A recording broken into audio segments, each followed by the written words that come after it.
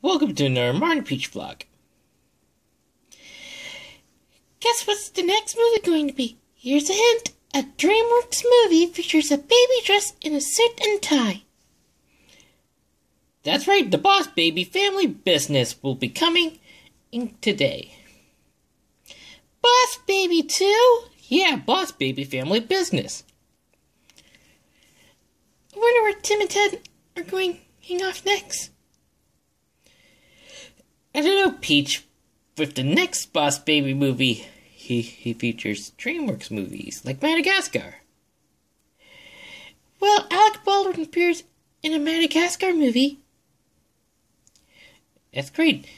I didn't notice DreamWorks did good for her Boss Babies.